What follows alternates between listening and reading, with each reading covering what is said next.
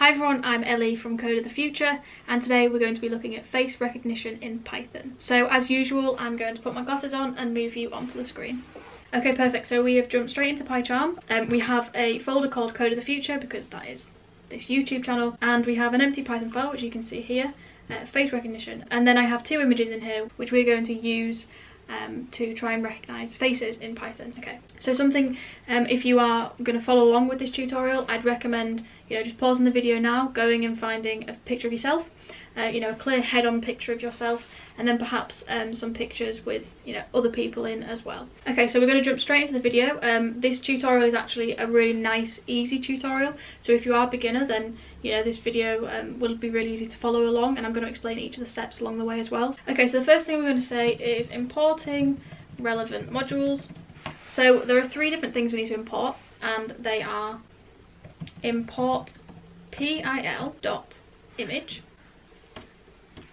import pil dot image draw. And then we also need to import face recognition. Okay. Now if you have done this save it put type this into your python file and you've come up with errors and it says you know nothing is imported the way that you do that is you can pip install it. So if you are familiar with how to pip install then you simply just pip install um, face recognition and pil if you aren't familiar with how to do that then we can simply just go up to pycharm up here click preferences and then you're going to go all the way down to project so the title of your folder it probably will be. You're going to go into an interpreter and then here you're just going to click the add, button here and notice it says install. So you're going to click add and then you can simply search for PIL so here here is PIL um, I already have it installed. You know you can click install package and then it will install. Um, so that is how you install specific modules uh, that you can then use in Python. So these are the relevant modules we need. The P the PIL is what will enable us to take a specific image and then draw boxes around the faces. And then the face recognition is, you know, as you guessed it, to recognise the faces in a given image. So that's why we need these different uh, modules. And now we're going to say let's start by inputting an image and getting Python to recognise it. Okay. So the way we're going to do that, and I'm just going to bring this across here, we don't need to see any of that. So we're going to say, okay, let's take a variable and call it picture um, and this is going to be what our our picture that we choose is and we're going to say face recognition dot load image file and then you're going to input whatever the title of the image you've chosen. So if you see here this image here which I'll just click on this is a picture of me. It says ellie.jpg okay. So I'm going to put ellie.jpg and it comes up here so you know if you've gone wrong with uh, typing in the specific thing, it comes up here. So I'll just double click that and it's already there. Okay, so that's loading my given image. Now, if we were to just print this picture, you may think, well, it's going to print exactly what we have here, you know, this image here. But what it actually does is it will print numbers. Okay, so we'll run this Python file. It may take, oh, it didn't take too long. So we have all of these numbers here and that is basically Python's way of being able to store the image. that that is, um, I suppose, a blueprint for that specific image. Okay, so that is how we input the picture. Now we're going to get Python to recognise faces within that picture. So obviously this picture here has one face, um, and then this is another picture I have, and this is from a holiday that I did. So something worth bearing, in, you know, bearing in mind with this image, it probably won't pick up on this face here, purely because it's on a side. So that's why I wanted to include this picture, just to show you that it will mainly focus on pictures where the face is head on. Um, so this is a, a, picture of all my friends when we went on holiday. So what we're going to do now is we're going to say face, and this we're going to assign a new variable, and we're going to say face. We'll call it locations because essentially what we're about to do is get Python to recognise where the faces are and then we can you know call it something like face locations because that's where the faces will be within that given picture that we have here. So we're going to say face recognition again. So we're going to say face recognition dot face locations, which comes up there. And we're going to go across again. And we're going to type in picture. So what this is doing, and if we just hover over this here, it is saying returns an array of bounding boxes of human faces in an image. So this here, this face location, so I'm just going to print it and we'll show you what it's, what it's actually doing in terms of Python. So if we print the face location, it gives a list and inside that list there is a tuple and this tuple is given the coordinates of where that face is in a given picture here. Obviously we have the Ellie image, so there's only one face, but if I was to type in here, I think it was, I named it holiday, holiday, and we run this, hopefully it's going to find the three faces, excluding mine because mine's on a side. Aha, perfect. So it's recognised three, so what this has done is it's created a list, and inside this list it has three tuples, and inside these tuples these are the coordinates. So the way that the tuple works is by, this here is top, this is right, this is bottom, and this is left. And essentially you can do top right, you know, bottom left, and then it will kind of enclose a rectangle around the image, the face. Okay, so that's what this is doing here. So we've created a picture in Python. Obviously it's just random numbers uh, that encode that particular picture.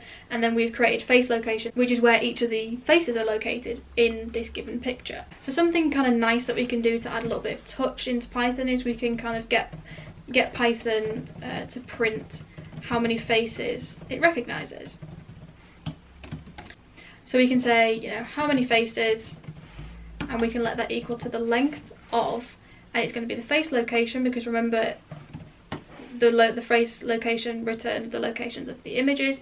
So depending on how many tuples are within that list, it will give you exactly that number. So if we were to say, okay, how many faces, and we'll print how many faces, and we'll run it, three. Perfect. So I'm going to move it back to Ellie for now, just because um, it processes a little bit quicker when there's, you know, one, one image, one face. Okay, perfect. Okay, so instead of just getting Python to print the number, we can format it so it Python pr prints um, a statement. So we can say print, uh, let's say Python recognized, let's just put a question mark for now, recognized of faces in this image. Okay, now if you're familiar with formatting, what we're going to do is we're going to put these squiggly brackets in here. And we're going to put dot format, and then we're going to put how many faces. So what this will do is it will return, it will print Python recognize and in this bracket here it will input how many faces it recognised of faces in this image. So we'll run this and hopefully it'll say Python recognize one of faces. Oh, I just can't write English apparently. yeah, we'll change that to face, sorry. And I'll put in brackets an S. We'll run that again. It's a good job um, I do tech and not not English. Okay, Python recognised one face in this image, perfect. And then if we change this to holiday, click run. Okay, perfect. Python recognised three faces in this image. Great. We could change recognise to located. Recognise almost implies that Python knows exactly who that person is. So we'll just put located instead of recognise. Um, it makes a little bit more sense with, with how, what Python does. Okay, so now we have found out, you know, we've got an image, we've got more than one image, uh, we found out, you know, how many faces are in that image. What we can do now is get Python to print that image with squares or rectangles um, around the given face, which I think is pretty cool. You can get an image and then Python will literally draw a little rectangle around where that face is. Uh, and this is kind of the basic idea of facial recognition. This is why the first video on this channel is going to be something as simple as this because you can extend it a lot further. You can get a video, you can kind of get Python to recognise your given face. Um, so that is another video I'm going to release is how you can get a given face, so my face for example, and it will say Ellie. That's why for this video we're keeping it relatively simple just because it's a really nice way of easing you into facial recognition. Okay, so what we're going to say is, we're just going to drop this down. So get Python to draw rectangles around the images. And again, can't spell rectangles, there we go. So get Python to draw rectangles around the images. Okay, so this is where we're going to be using the PIL library. Notice it's greyed out because we haven't used it yet. So this is where we'll use the PIL library. So we're going to say the PIL picture. So this is the picture that PIL will um, produce, we're going to say pil dot image from array. Now what I'm going to say is pil picture dot show. Okay, and then we're going to just run this Python file again, and I'm going to show you exactly what this here is doing. It's very simple. It is simply creating the picture, but I'll just show you exactly what it does first. Okay, so it's located three images in this space, and then it finishes the exit code. Perfect, there we go. It's come up on the home screen. This is the picture that I have inputted because it was the holiday picture. Perfect. So we can cross off that and we can go back. So what this here is doing is basically assigning PIL picture to the given picture we put in here. So again, I'm just going to change that back to Ellie. Um, just because the process is a bit quicker when, with one face and then this image here dot show will show the image okay so now what we're going to say is draw picture okay and essentially what we need to do is use this PIL image draw so we can take this image here use it with this image draw and that will allow us to draw the rectangle. So what we're just going to say here is PIL dot image draw dot draw and we're going to put in here PIL picture. Okay. Which is what we have here. And this step here just essentially allows us to draw on this given image Okay, so these are kind of the prerequisites. This is kind of what we need before we can start drawing the rectangles around the image. And now we can jump straight into drawing the rectangles. Okay, so this next step is incredibly easy. We're just going to say for faces in face locations.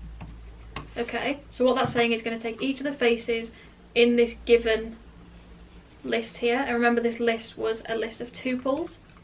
We're going to say top right bottom left equals faces. Okay, so what this is doing, and if you remember from the video that I did on tuples, what this is doing is it will take a given tuple in the face location and it will assign the top variable to the top. So what I'm going to do actually, just to kind of explain this a little bit easier, is I'm going to here just print face locations, just print here face locations, and then we'll just run this again. Okay, perfect. So this here is what the face location is for this given image. And remember, this here is the top, this here is right, this here is bottom, and that is left.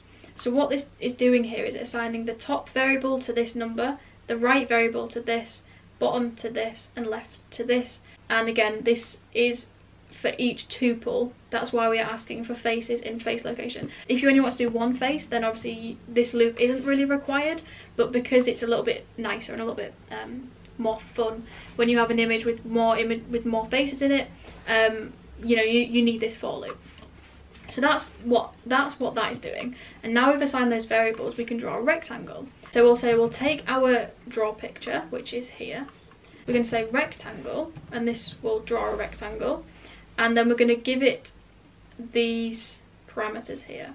So we're going to say here right, bottom, left and top. And this is kind of just the format that we need in order for the rectangle to work, so that's why that is in that order. You can switch it around, but just for this video we're going to keep it as this. Now something we need to do is put this in a list, just so it knows to plot this given rectangle that's given in this list and then we can add some extra parameters. So I'm just going to go down so we can say outline is green okay? And we use green just because green kind of stands out a little bit better it's almost like yeah look this is correct it's found these images. And we're just going to say the width um, of the rectangle. We'll say is about 8 you know you can change this depending on how kind of close up your image is or how far away it is.